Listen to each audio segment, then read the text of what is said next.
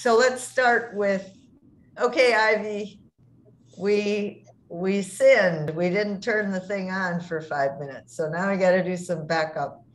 Um, we're talking about what pieces of art uh, Hume would like and wouldn't like. And so far we've got, go ahead, Leah. So we've got um, color, no, we'll leave color planes for Kant. I can bring up others. So Leonardo da Vinci's works, because they are incredibly skillful and a lot of them have human subjects. I didn't realize I used a second hand there, so I just saw a hand go across the screen. That scared me for a second. Um, so Leonardo da Vinci is something Hume would most likely like. Um, then I brought I just, I just said that Hume, it would be hard because you want to rip away the religious uh, content, right? Yeah. So you got to really train yourself not to think about the story, right? Yeah. Okay. Um, and then I brought up Andy Warhol because though Andy Warhol had vision, I think that Hume would look at it and be like, that is unskilled art. There's no refinement or taste that went into it. It's just it just is. And then we talked about the degeneracy of of uh, Warhol and, and Western culture. Um, and then I wanted to make the swap, swap to literature because there are more art forms than just visual medium. And I think Hume would like Pride and Prejudice because it it is human and it has this even though it focuses on high society there are are you know um, faults with the people and it was a skillfully and like well written piece even though many people take problems with it um, and a lot of people don't like it and then you take you have like winnie the pooh that is just incredibly straightforward and it could it though it is a well written thing and it is such a universally known character for a reason, it is too straightforward and it doesn't have too much deeper meaning other than the typical like fairy tale, like these things are bad. Um, okay. And then I, oh, and then I, I think, I think that a weird thing that I wouldn't be able to say whether or not he would like or not is Grimm's fairy tales, because they focus on the human. They are often well written. They um, they can encapsulate small parts of culture. So it does take an education to get them in. Um, but they are this incredibly straightforward thing where it's more like they take an idiom and then they just expand it to an entire story. And so that's that's kind of where I I don't know where he'd take it. And I feel like Winnie the Pooh is on one side, and then there's a lot of other stories that are on the other side where he would like them like Animal Farm, I feel like he might he would either love or hate Animal Farm, but I don't know. I, I think he might like it just because it is, even though it is straightforward, it's still well written as a um, this kind of ramping up of of Snowball and all the characters. And I, I so Grimm's fairy tales are kind of where I want to talk about because I don't I don't know where Hume would fall on them. Well, you want to give an example of one of the fairy tales? I'm trying to think of. I my sister has this huge book of them. Um, Rapunzel. Who is who is um, Rumpelstiltskin with? Yeah. Okay, Rumpelstiltskin. Because I feel like that one is, is a good one that he'd look at and be like, this has a lot of different meanings, and there's not really there's like the slight magical context um, but it's it's about promises and deals and um, what is it? Not being greedy like most like a lot of other fairy tales. Um, but it's also a, it also has elements of family, and I think Rumpelstiltskin is is an entertaining story that can be taken at face value, or it can be looked into and analyzed in a dozen different ways. Um, and then I, oh goodness gracious, I don't remember the original Snow White so all I can think of is the Disney one. But I if I didn't know there was anyone other than the Disney one. I think there is one. Probably. I was like, Disney didn't make that up, right? It was a real story. Yeah. I think okay. I'm getting a list. I think um, Snow White, right? The dwarfs were grumpy, sneezy, whatever. Yeah. It's very, it's very humane, right? She enjoys Yeah. them. They have these very human qualities. And she, right, appreciates them. I Yeah. think, Little- I think it is about humanizing, humanistic relationships. Does that make sense? Yes. Um, I think you can look in. Yeah, so Snow White is is a Grimm's tale, but I don't. I remember nothing about the Grimm's version, so that might have been a bad example to pull up. Um, Cinderella is also one, and I think I remember more. Yeah, so little twist in Cinderella is that the uh, the stepsisters cut their toes off and like cut off the back of their heels so that they can try and fit into the shoes. Um, and I think that Cinderella is one that is so straightforward and simple that it's just a tale of kind of like, you got your comeuppance because you guys were mean to me.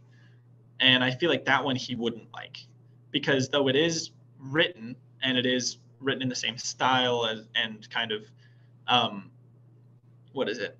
And it's a similar. It's just similar to Rumpelstiltskin, as in like you know a little body mutilation and revenge and the comeuppance. I feel like it is it is less than Rumpelstiltskin. So I think I think Grimm's fairy tales are just kind of all over the place. They could fall on either side. It just depends on how you look at them. Okay, well, I, I did study those under Jung, Jungian, that they're myths, right? Yeah, Fairy tales.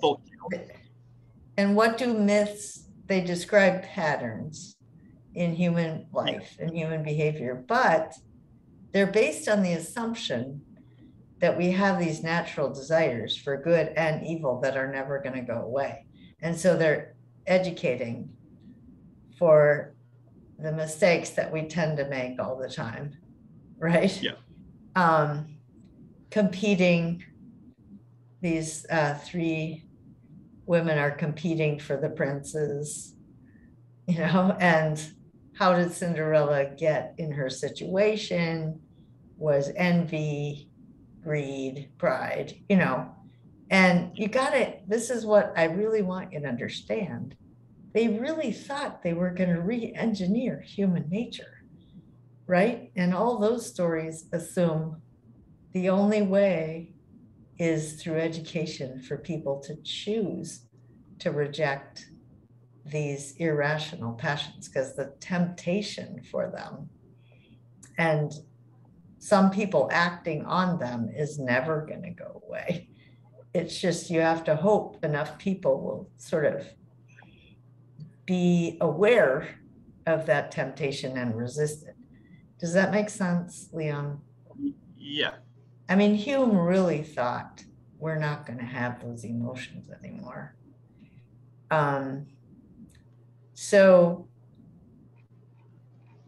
I, okay, so Pride and Prejudice. The, I actually, I mean, she's a preacher's daughter, okay? Who doesn't care less how much money you have. And this is me, like I was just like that. Like I don't care. Um, I even there's a a guy in my life from way back, and we sort of have a lot of that, except we never resolved it. So I'm sorry. Not all those stories end up good. but um, Jane Austen does. She focuses on secular. She doesn't, it's not a religious thing, right? She's looking at people, how they actually relate to each other. And um, she is promoting humanist values, right? Yeah. No greed, marry on the basis of love, all that stuff. But she's also, yeah, I don't know. You could say that maybe she's writing those stories in order to re-engineer, be part of that re-engineering project, right? Possible, or you could say, well, she knows this is always gonna happen again and again. Um, but I'm not sure. But the main thing is that if that was the motive, or if enlightenment, intellectuals use her for that, right? They would be teaching people to read her books in a certain way. Does that make sense? Yeah. Okay. Um, all right. And again, I tend to read it with the archetypes introvert, extrovert, um, the same old, same old, but but I think you could argue that it's it's a part of a Hume type of education to cure people of these vices once and for all. Um, and then with um, Animal Farm, he did not think people were going to be like that by the time Orwell was writing, right? They would have all the kinks worked out by 1900. They would have a social science that would truly mold people to be, to not do that, not fall back into brutality. Does that make sense? Yeah. I mean, so I think Animal Farm is definitely a tragedy. It's using that kind of education, purgation. Like you could do this, guys. Don't do it. Does that make sense? Yeah. The story is really trying to scare the heebie jeebies right out of you that you have this capacity and trying to get you to really identify with this. Don't think you can't go there. But I mean, Orwell is criticizing the Enlightenment folks that thought you really could re engineer people and they would never act that way. Does that make sense to you, Liam? Yeah. Okay.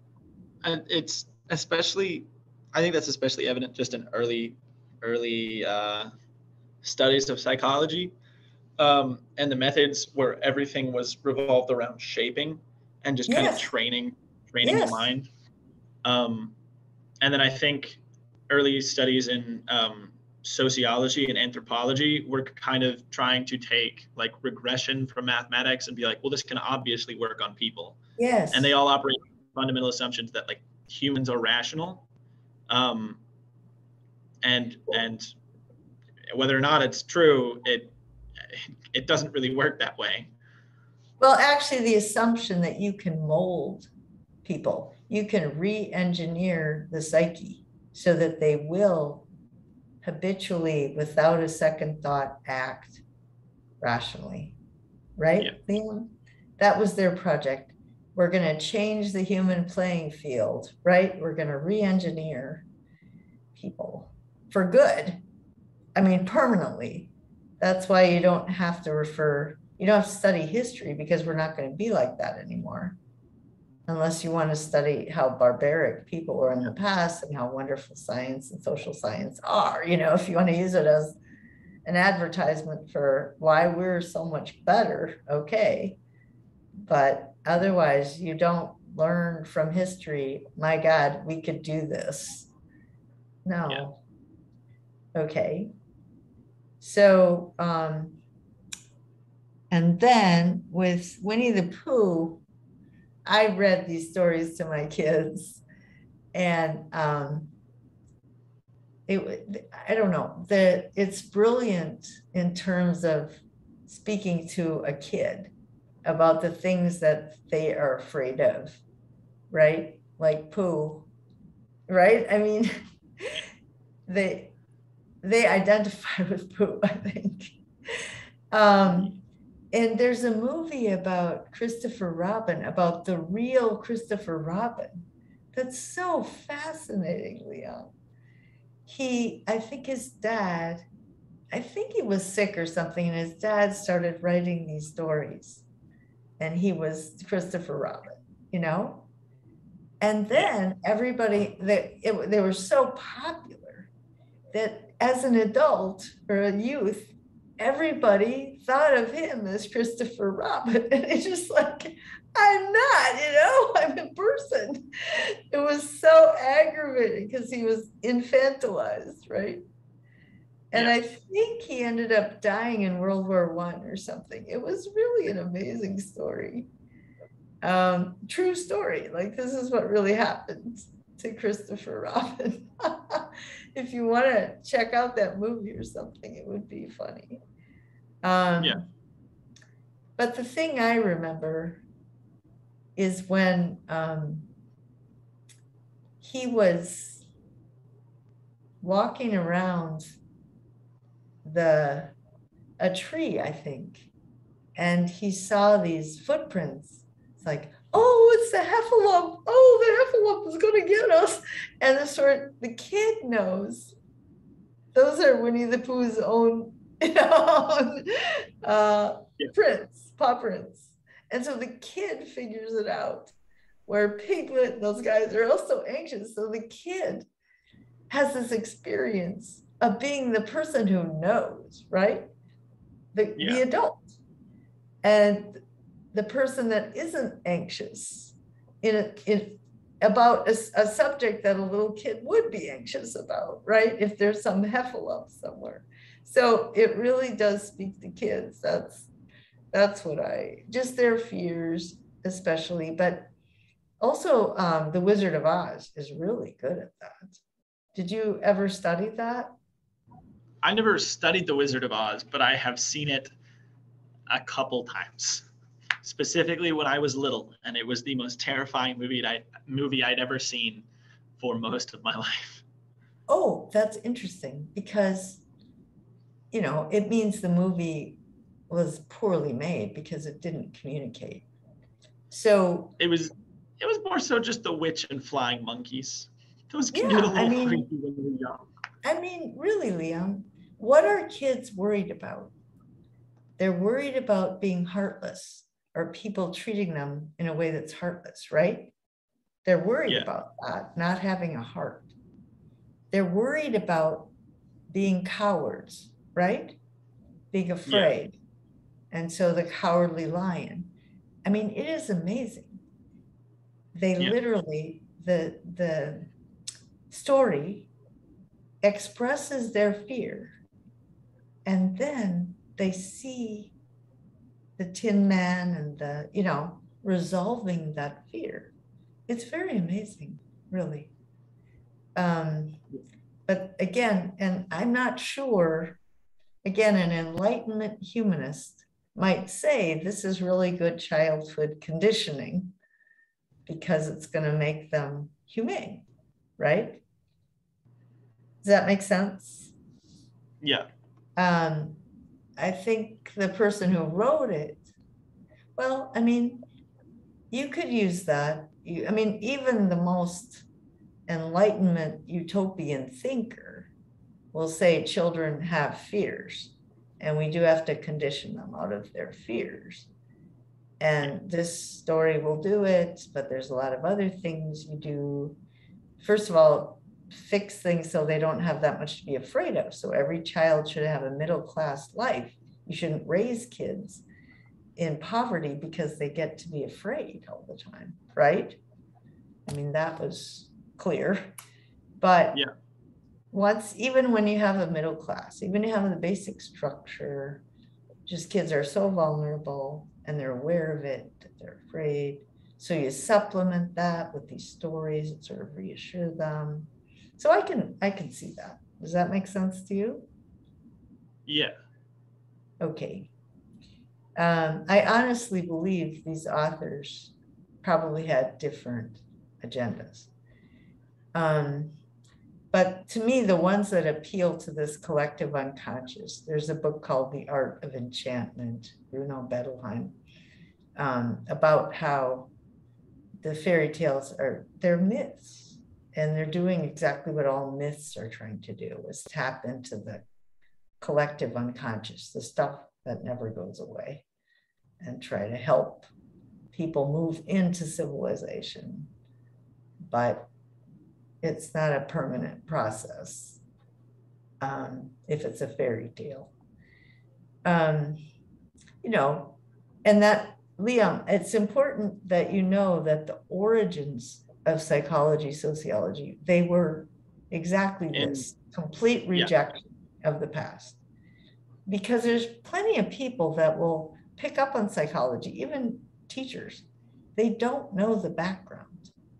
And so they'll project all sorts of stuff into it, say, well, that's not really what psychology is. And I'm saying, yes, it is, even if you didn't think so and your teacher didn't think so. You need to know the origins of this because because then you don't sell out to it totally, right?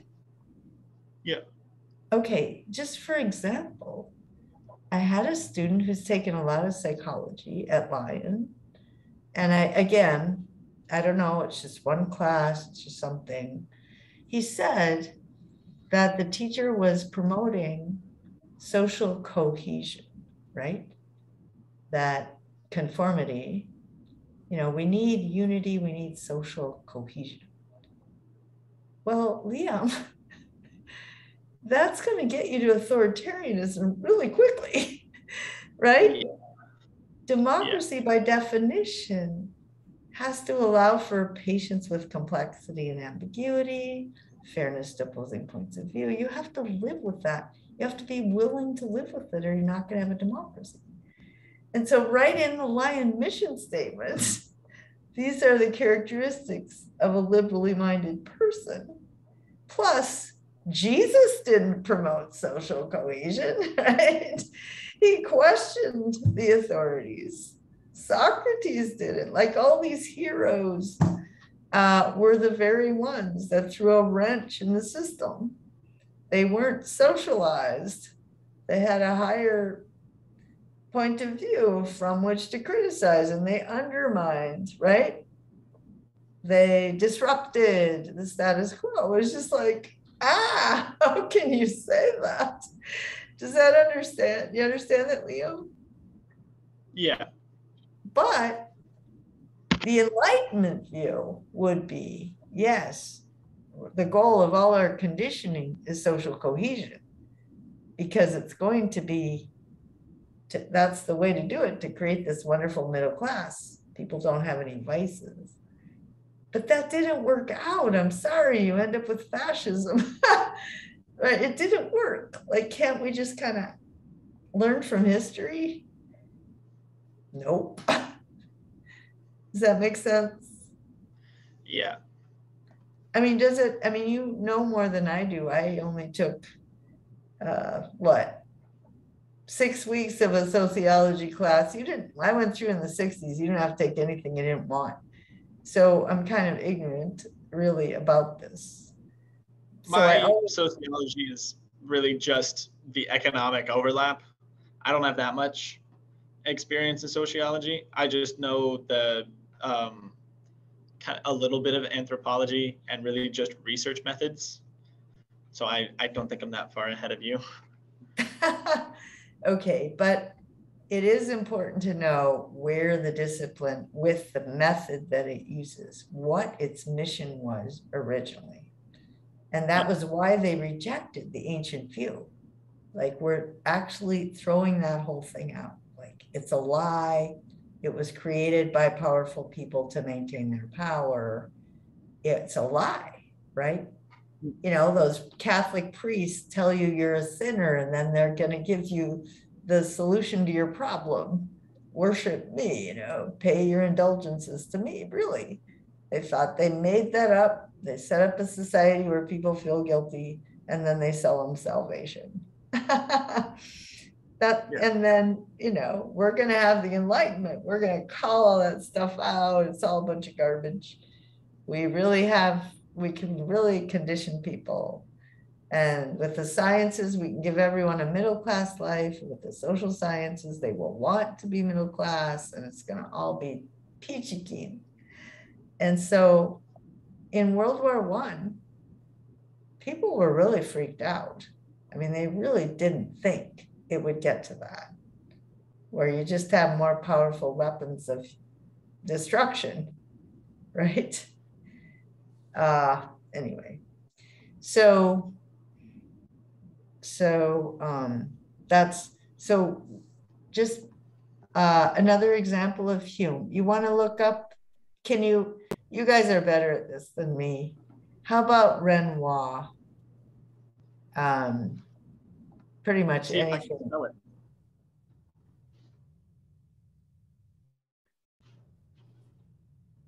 R E N O I R. Oh, R E N O I R. Okay, so Pierre Auguste Renoir. Yes. Okay, yes, I got him. Can you put it on a, oh, a screen share? Let me give you, um, can I, no, that's not it. I, the screen share function, I'll let you share, right? Multiple participants. So can you share? Can you find it? Yeah, hold up. Um, there we go. I think that should do it. Do you see it? The Ah, the all right. Look, does that make sense? It's very humanistic, right? yeah, the focus on Okay. the um I think it was yeah, this I immediately got drawn to because it's all about the interaction and the the collective of the human, like the collective of the people, even though they all have their own separate little conversations and things going on. But they're in the park. They're not in church, right? Yes. On Sunday, you go to the park and you talk to people and mingle with people. You don't go to church and flagellate about what a sinner you are, right? yeah. Okay. And and they know that, right? They're very deliberate about this. That's why often, you know, when we look at it, we don't think about that because those are just not the issues in our day. Um, Yeah. so there's Renoir, there's um, how about uh Degas, D E G A S?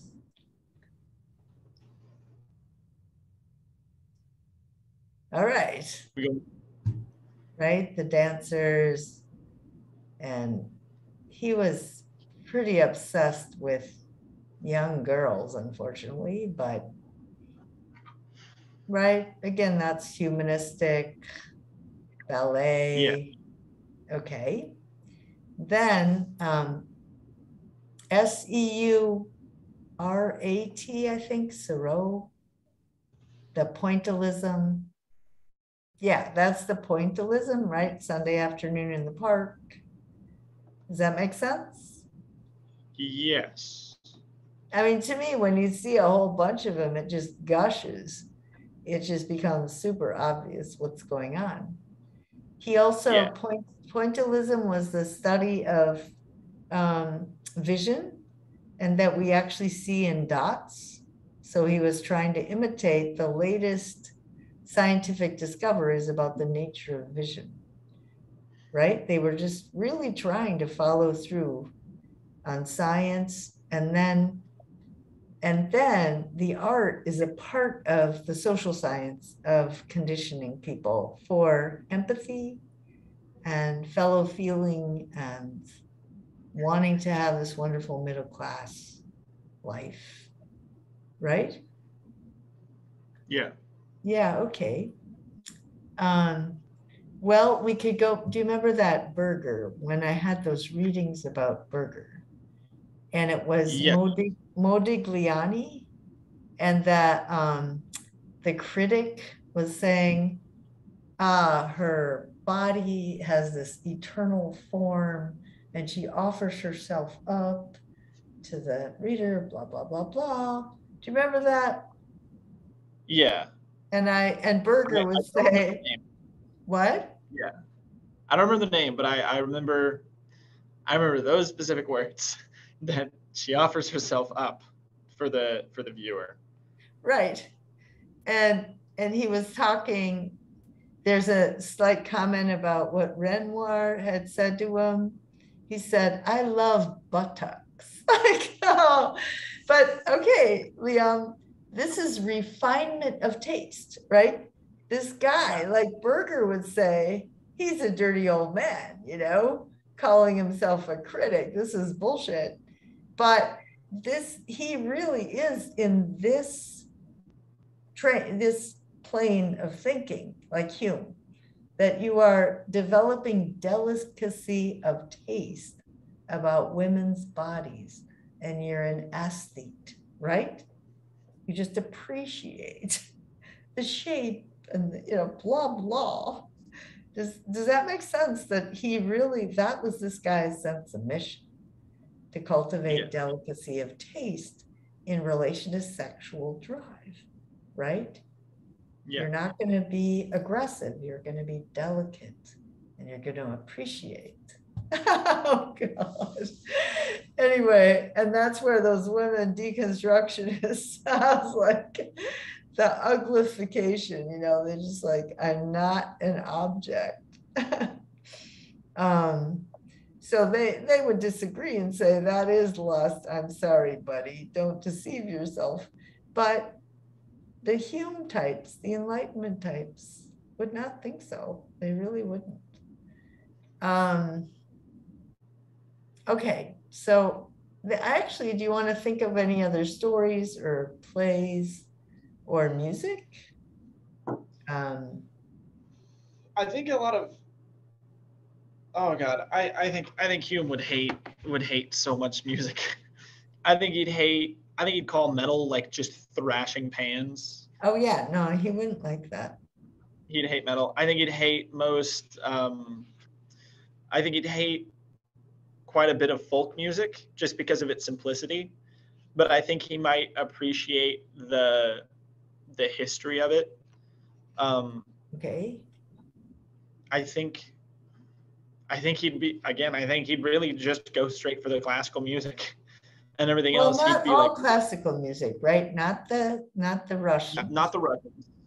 Um, but there Yeah. is the French. I mean, French music is very uh, Debussy.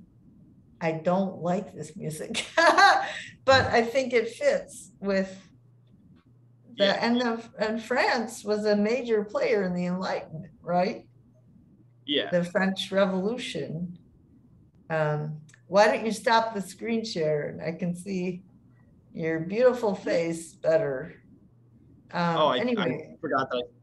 I've been staring directly at you. I kind of forgot it was still going. oh yeah. Anyway, so I would say uh, Ravel, Debussy. Again, I'm not a connoisseur. I, I don't know a lot of music, but I know that I don't like it. yeah. It's too namby-pamby, but I mean, that was the point. Um, and it was during the Romantic era and all this stuff. Um, let's see, so music. Um, oh, there were some plays written. Oh, and Hume talks about them, but I can't remember where they would write plays that were deliberately anti-tragic, right? Yeah. Where the character is refined. And everybody can know that they took sign, kind of some of the properties of tragedy, but they told a cont- entirely different story about human nature because they're trying to condition people into this much more advanced view where you just forget that other stuff. But you want to use the genre of tragedy, just the way it's organized or a plot line, and then deliberately have them not make a mistake. They don't make Yeah. a mistake. Um, and they're weaving people together all the time. All right, so music, plays, visual, uh, stories. Yeah, okay, literature. I just don't know enough of the literature off the top of my head, but anyway, I, I think you get the main point, right? Yeah. And it Yeah. truly is, it's a radical shift because everything up to now is the artist has to have some profound insight into human nature and the human condition, right? Some Yeah. grasp of some underlying reality that either enlightens you about your capacity for evil or your capa- your capacity for good but all every everything is more extreme than this sort of digestible veneer of civilization, right? Yeah. So there's the civilization is a veneer and there's something underneath that's both it can be better or can be worse. But excuse me. But Hume and the Enlightenment people said, we're going to make the veneer into the only reality. We're going to make people good. Um, they're going to get along. Um, so let's see. So, okay. Oh, yeah. Uh, all right. So suddenly, all those people that advocated that you have to put yourself in a position of being able to, to understand that insight of the artist, right? And now Hume is telling the artists create something sensual that it just is what it appears to be. There's no veneer of nothing. It's like this is civilization. People at the park. And there's not going to be any big disruption and the evil, you know, ruining things. There's not going to be someone raping someone at the park, you know. Um, so instead of the idea that this is what appears to be, you know, we all try to act like we're all civilized. But then, you know, in a cr- critical moment, it's like, wow. No, you know, like, so the artist's job is to cultivate this delicacy of taste, just really make it visually pleasant, make it auditorily pleasant so you just enjoy and always humane, empathy, uh, wanting to reach out to other people. And then, so the, the real civilizing influence comes in the audience's reaction, not, you know, the artist might have a completely different motive or might have the motive, but everything depends, the civilizing influence depends on the audience reaction, right? Whereas Yep. nothing before said it depends on what, whether you're a good artist or not, depends upon how your work affects people, right? They would never say that because most people don't want the truth. They don't want to think they're capable of those evils, right? So definitely now, do you remember when Coomaraswamy said, this is not an aesthetics? You know, he hates the aesthetes. And he just says that's just sensuality, it's just shallow and trivial. There's they deny this underlying metaphysical reality. It's like, yes, they do. and this is Hume he is perfectly describing Hume, and they just totally disagree. Um, Yeah. Okay, so and so it's the audience reaction, and then the critic reinforces that, right? The critic critical analysis should never mention religion or any, you know, dark stuff. Just keep keep engineering us ah, yes, so much empathy. Isn't that great? And everybody should go to the park. Have fun on Sunday afternoon. And this is wonderful. And it's just, you know, triggers all these wonderful humane feelings. And so the critics would keep reinforcing that. And then that would go up to um, institutional structures and social science techniques and all that stuff and that's civilization. So it's a really different vision of human nature, the human condition, and then the role of the arts. Does that make sense to you, Liam? Yeah. Okay. So, Yeah. Yeah. you know, Shakespeare lived in Renaissance England, and that was a humanism, a humanistic, right, trend. Um, so when it like um, uh, Romeo and Juliet, it's about getting over these prejudices and all that crap. But you could say that Shakespeare really did think we could get over it for good. Does that make sense? Yeah. So Shakespeare, yeah, or Shakespeare might have thought, we're just making this transition, right? From, and so my plays are gonna try to permanently cure people of this horrible tribalism. Um, I don't know if he thought he could permanently do it. Um, but it would be understandable at that time in history, right? They would say, well, we're not over it yet because we're so caught up in all these rotten habits. But I'm trying to educate people to a better place, a more humane place. Um, and again, it's possible that people disagree on where Shakespeare would fall on that continuum. But also, a director would perform a play with one of the agendas or another in mind, probably. Does that make sense? Yeah.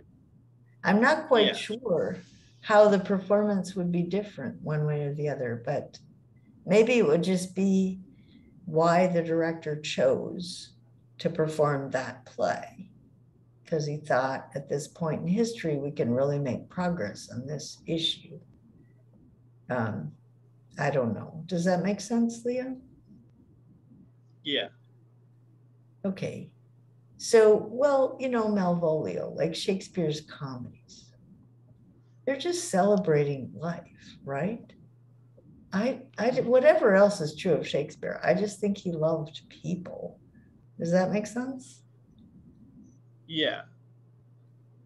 Yeah. He definitely liked making them look foolish. But he loves them anyway. I mean, you know, it's not a cynical thing.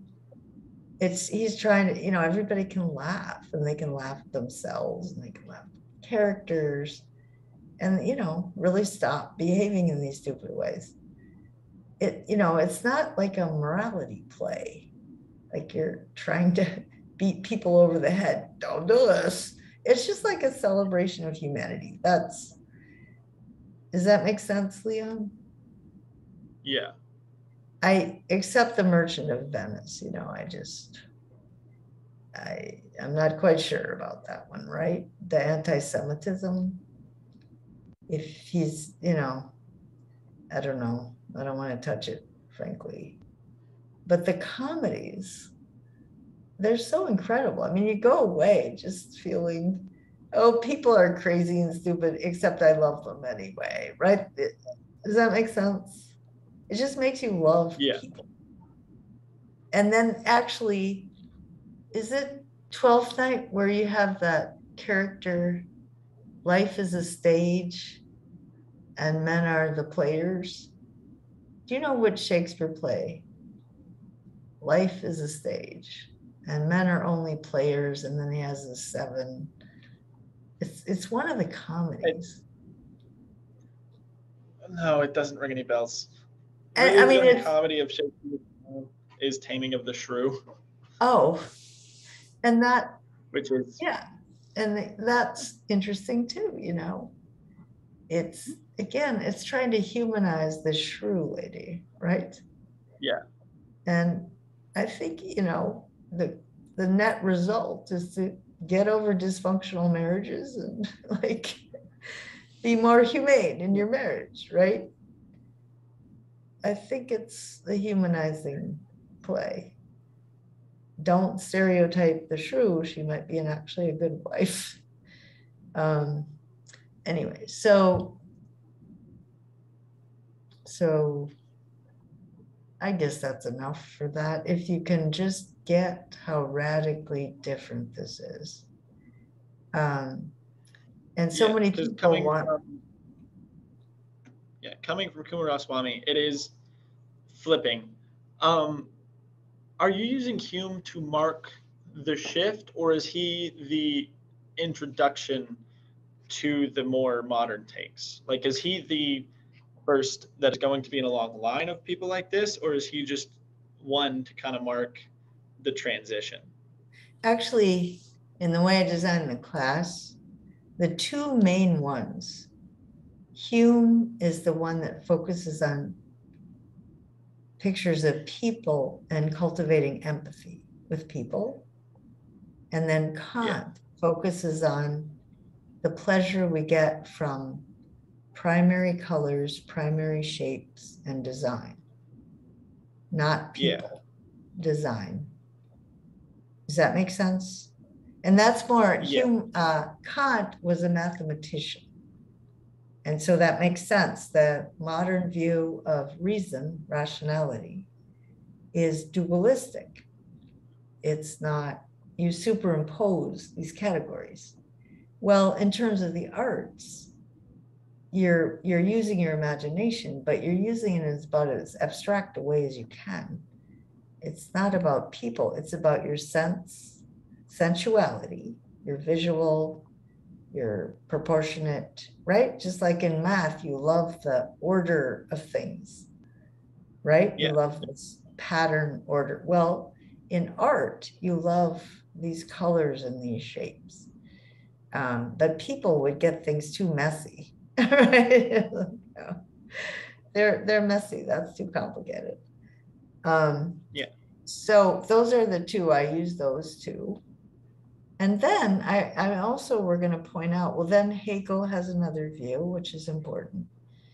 And then then you have Tolstoy.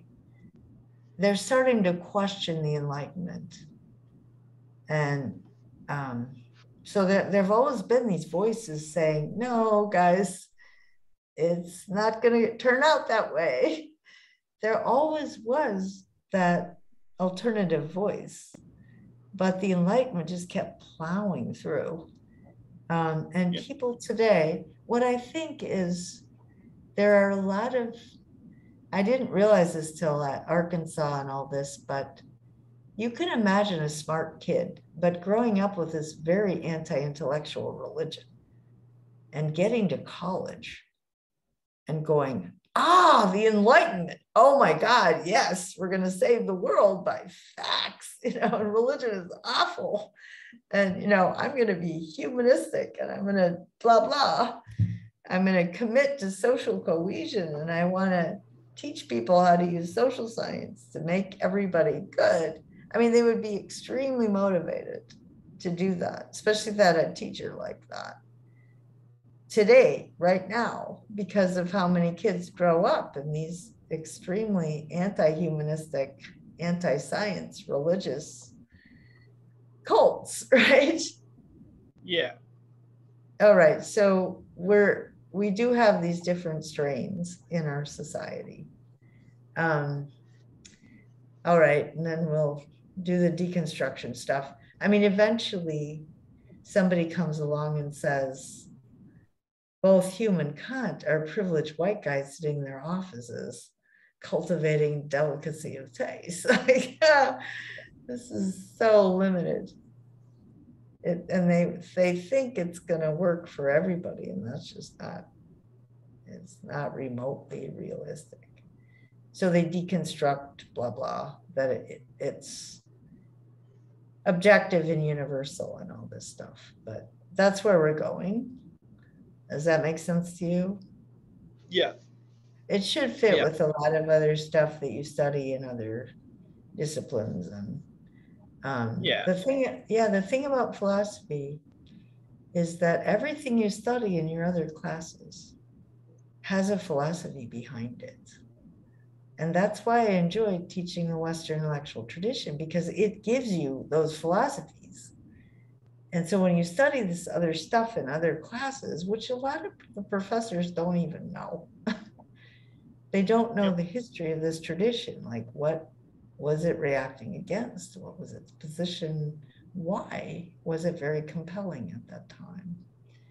And I mean, I I still really like teaching it, not because I agree with any of these privileged Western white guys, but because it's still so dang powerful.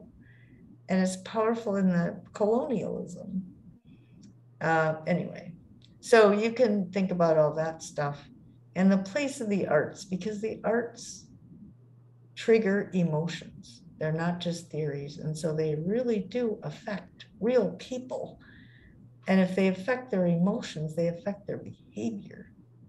And so our attitude toward our emotions as a, you know, is going to have a huge effect on our lives and our societies. Um, so that's why I like teaching philosophy of art. And I don't yeah. mind teaching the Western intellectual tradition through the lens of the arts. You know, that works for me. Um, but if you, the original motive for all these people was what they discovered about the sciences. So for Hume, his view of the sciences was that Newtonian physics, it claims to have these laws of nature that are universal and objective and logically consistent and all that stuff, right? And then he goes, he goes, okay, what's going to happen if I let go of this? And and you know, Kant would say it's the law of gravity. So there's nothing in this about laws. Like it's physical, right? Uh, sorry, you you cut out after um I forgot the words for like the past 10, 15 seconds. So go back like 10 seconds. Okay. Well, Hume, Hume says, look, you claim that science is about physical things. Physical things are not universal. They're not objective. Like you see this pen differently than I do because I have a different point of view. Physical things our encounters with them do not indicate that they that they occur according to some abstract laws, right? It's yeah. one thing after the other. And so Hume said that actually the sciences are just um, associations. They're generalizations from the associations we have when we observe this stuff. There's no laws, there's no universal blah, blah laws. There's just plain old stuff and, a, and recording our associations. First comes the letting go of the pen, and then comes the falling of the pen, right? And so that's where you get probability stuff, right? Because nothing is certain or necessary. Everything is just probable based on the observations we've done it's an association psychology, an association understanding of what science is about. Does that make sense to you, Liam? Yeah. So then, how does that fit with art? If we associate our our interpersonal relations with all these humanizing, right, experiences, we will yeah. literally change human nature and everyone will have this association of psychology and we'll be done with it right? Yeah. But when people go to church and get told they're sinners in the church you know they they get this association that manipulates them and controls them and tells them these lies and then the church keeps power right? It's just association psychology so don't go to church don't do that stuff. Do yeah. this stuff, and then you'll have a totally different psyche. Does that seem, does that make sense? Yeah. yeah. So in the West, if you really want to get to the root of it, you'd go to the science. But I don't mind teaching it starting with art and then going back. Incidentally, this came from the science because people care more about the arts than they care about yeah science models and blah, blah, blah. Okay. All right. So there's all of that. Let me see. We have a few more minutes. So how about if we go through those questions? Did, did I already go through these last time? I think so, yeah. Because yeah, I, I, think we did. yeah, the, the issue, I'm sorry that there's actually, um, uh-oh. The cloud transfer thing never works for me. Um, I've been having trouble with it recently. okay. Um, but mostly I just was lazy and I pretty much cut every place he said, talked about delicacy of taste and plugged one into a different question. But so it just gets a little redundant, except that it's not unaccurate, inaccurate. It's just kind of not this again. but it is that if you can get that, that that is the main focus and everything else sort of falls out from that. Yeah. And how radically different that is from where we, where he, what he grew up with. Um, dang, I know when I go to this, it never works because I don't know. Yeah, I mean, this is not what I want. um, all right. So, yeah, it's too bad because it's on my Google Drive. It shouldn't do that. All right. Pull it up in the drive. See this one? No. Okay. Yeah. Let me see if I can figure out how to do that. Over here, is that? Yeah, here we go. Let me see if I can. Um, search. Okay. Oops. Oh, come on.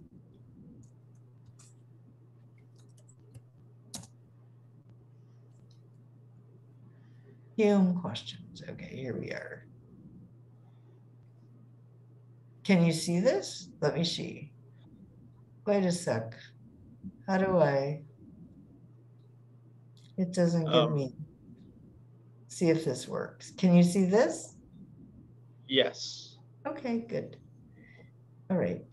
Standards of taste can be established empirically, right? By social conditioning, by association psychology.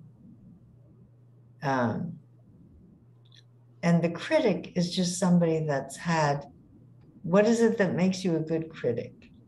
It isn't that you understand the veneer of civilization and the passions that really drive us.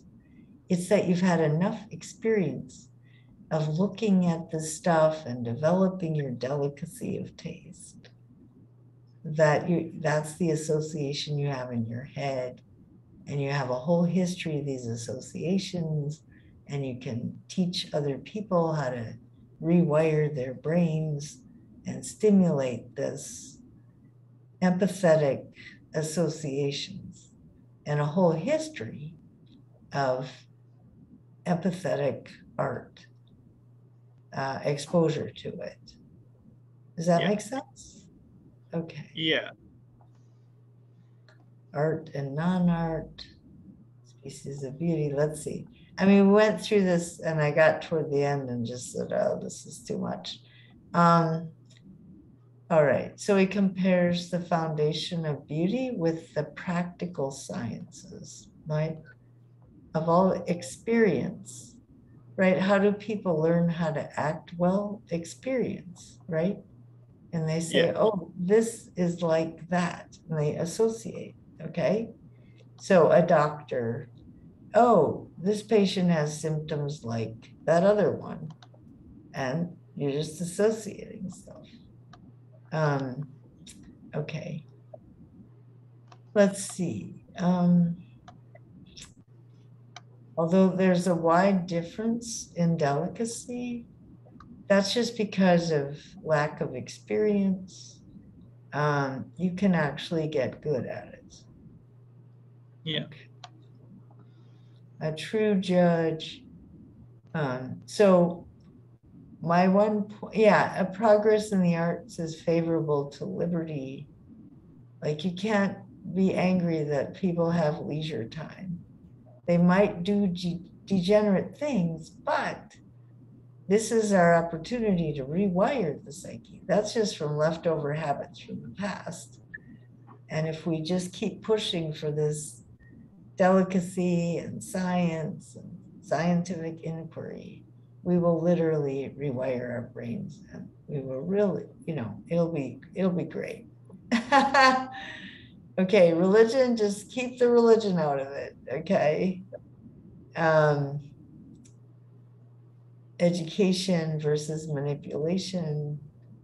The good art critic educates the sentiments and tries to help other people do that.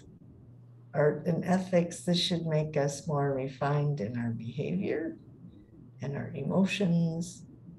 Art and reason, this, this refinement of taste enables us to use our reason whenever we like, right? Emotions aren't getting in the way of reason. They're different from reason, but they don't corrupt our reason if you're refined. Does that make sense? Yeah. Art and psychology, right? And that's again that blank slate, art and truth. Um, so the truth is, we're capable of this, and that's the best expression of our humanity. That's okay. I guess that's enough. Do you have any other questions or comments?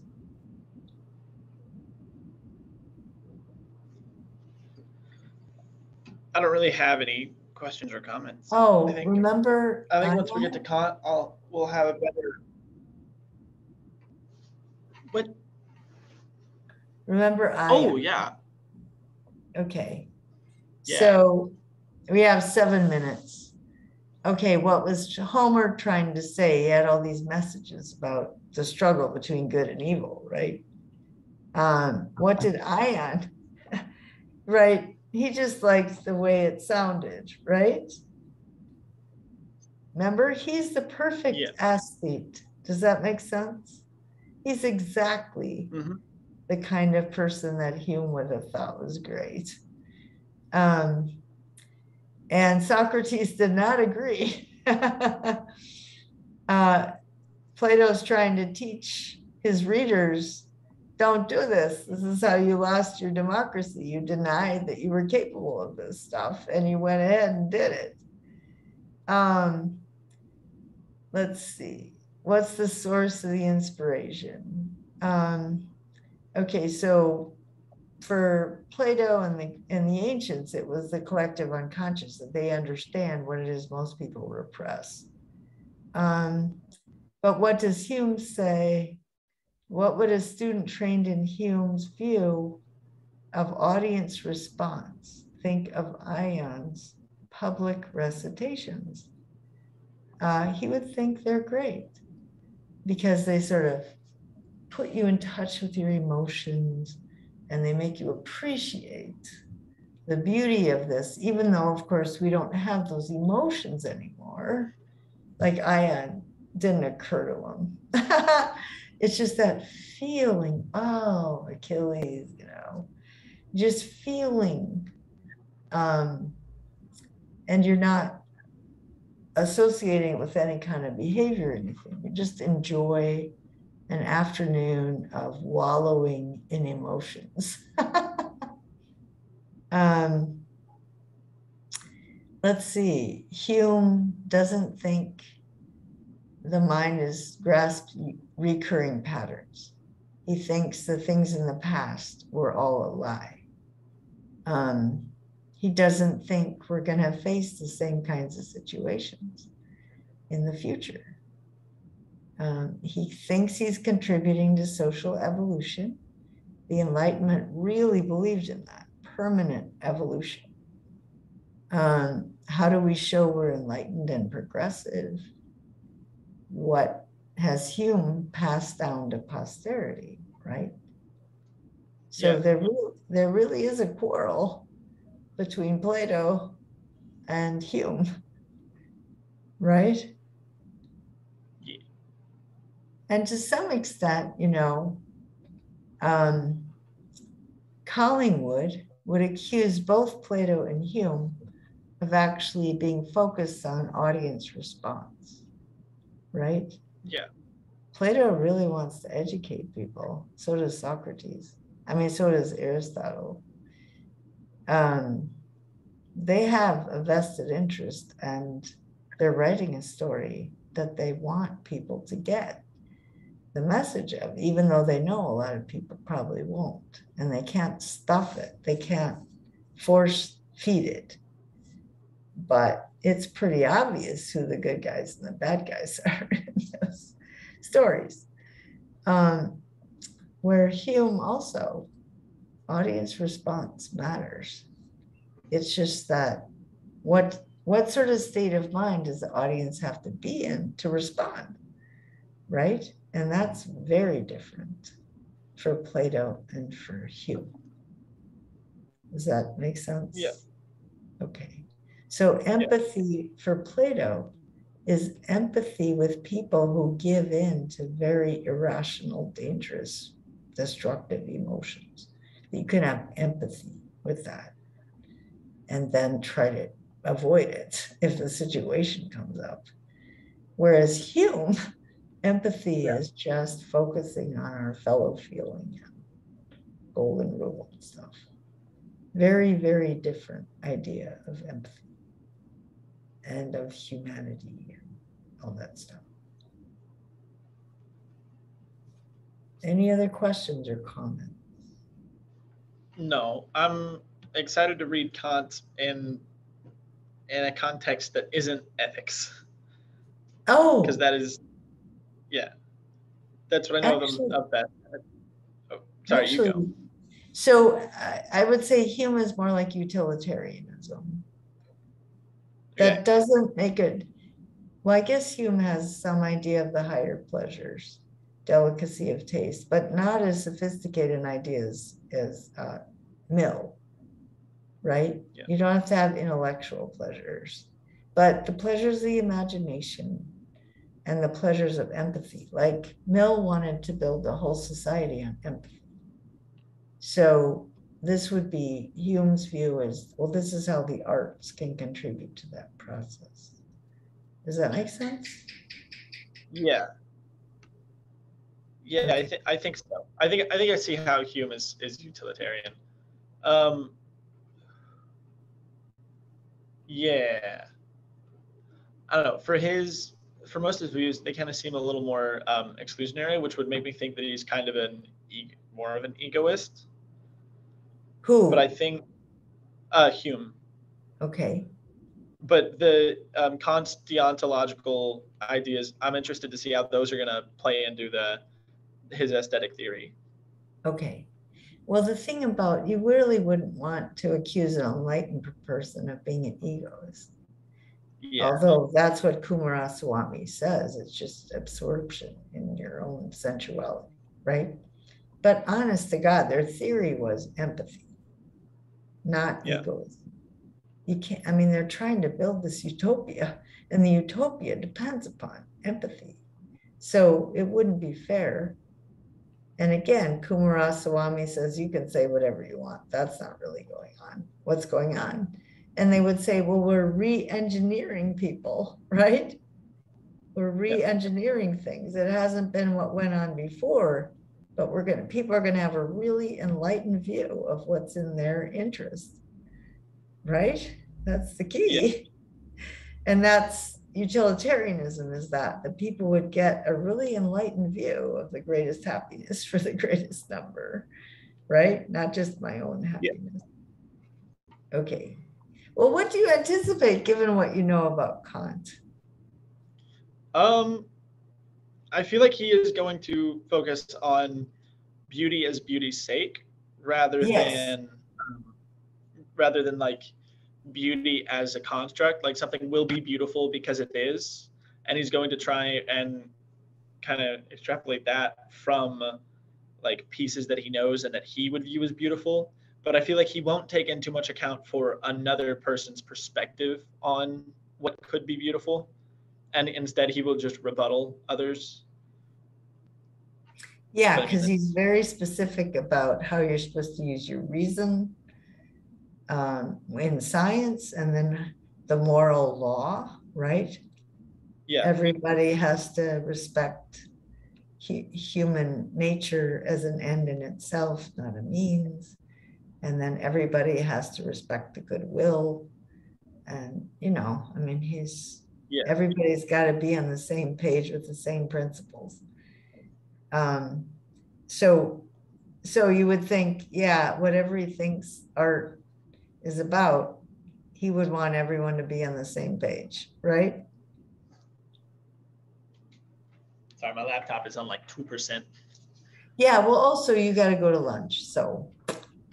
Um, that's nice though that you've studied Kant, because Kant is the hardest one in terms of the language. And I, I do give a summary of his view with the language and all that, so. Okay, so we recorded this, right? Bravo. Yeah. Good old Ivy, you're gonna get it, Ivy. We finally remembered. Uh. Bye-bye. So Ivy's gonna meet with me tomorrow and that'll work. I'll just Okay. talk to her about the stuff. All right, we'll see you. See you. Bye-bye. Bye bye.